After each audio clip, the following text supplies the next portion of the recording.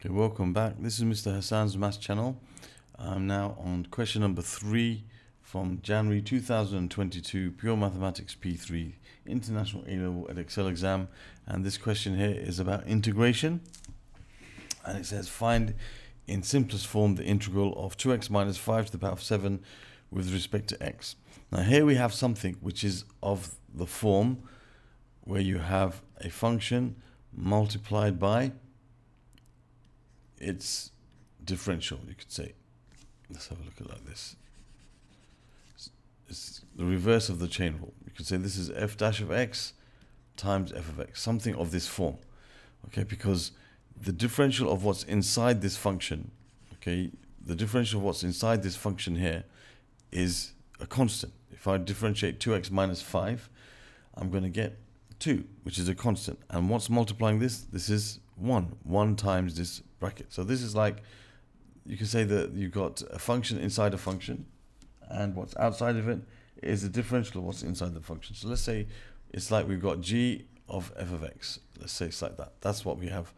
Um, and what's outside the function is something of the form of the differential of what's inside it. Something like this, you could say. Right, so when you have to find the integral of something like that, we can use what's called the reverse of the chain rule. And using the reverse of the chain rule, basically, what you do is you um, integrate this thing as normal. So you have this bracket to the power of something. So something of this form, a polynomial type of form, integrates by adding 1 to the power. So you have 2x minus 5 to the power of 8 then you divide by the new power, which is 8. And then you also divide by the differential of what's inside the function. If you differentiate what's inside the function, you're going to get 2. So you multiply that denominator by 2 as well. And then you put plus c for the constant of integration. And that will give you um, the correct answer. This is 1 over 16 times 2x plus, or 2x minus 5, sorry, to the power of 8. Plus C. And if you want to check to make sure you've done the right thing, you just simply um, differentiate this. So if you differentiate this, you have 8 times 1 over 16 times 2x minus 5 to the power of 7. Okay, so you multiply by the power, take one from the power, and then because you have a function inside the function, you're going to multiply by the differential what's inside the function, which is 2, which gives you 8 times 2, which is 16, over 16, which gives you 1. So you're left with 2x minus 5 to the power of 7, which is exactly what we started with. So you can always check that you've done the right thing by just differentiating your answer and seeing it gives you exactly what we started with. So that's how you differentiate, okay, um, how you integrate something of this form. The denominator, the, the, the, the, um, the expression should be multiplied by the differential of what's inside the function.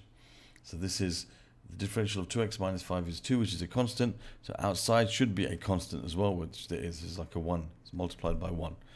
All right, so that's important for you to understand. For example, if it was 2x squared minus 5 to the power of 7, I couldn't do this because the differential of 2x squared minus 5 is 4x. So I'd have to have an x term outside there in order to do this. That's something we have to understand. Very important. So that's 3 part 1. And now on to 3 part 2 which is telling us to show by algebraic integration that the integral between 0 and pi over 3 of 4 sine x over 1 plus 2 cosine x with respect to x is equal to ln a, where a is a rational constant to be found. Okay, so now we want to integrate this with respect to x first. Now here we have something in a similar kind of light where we have um, the reverse of the chain rule, but slightly different. Here we have the numerator is of the form of the differential of the denominator. If I differentiate 1 plus 2 cosine x, I'm going to get um, minus 2 sine x. So as is of the same form, as the numerator is of the same form as the differential of the denominator, I can differentiate, differentiate this using the ln function. So the integral between pi over 3 and 0 or 4 sine x over 1 plus 2 cosine x with respect to x is going to integrate as now I'm going to write this as it is so 4 sine x times, now I'm going to write the ln of the modulus of 1 plus 2 cosine x. Okay, so that's how that differentiate, how that integrates, sorry. But then I have to divide by the differential of what's inside the function. If I dif differentiate 1 plus 2 cosine x, I'm going to get minus 2 sine x. Differential of 2 cosine x is minus 2 sine x. So now I don't have to put the plus c because I've got my definite integral between 0 and pi over 3. So now I can just simplify this. Of course, the sine x cancels out. That's going to happen, of course, when you can use the reverse of the chain rule. I've got 4 divided by minus 2, so I have minus 2 times uh, the ln of the modulus of 1 plus 2 cosine x. And I've got pi over 3 and 0. So now I need to substitute these values in instead of x.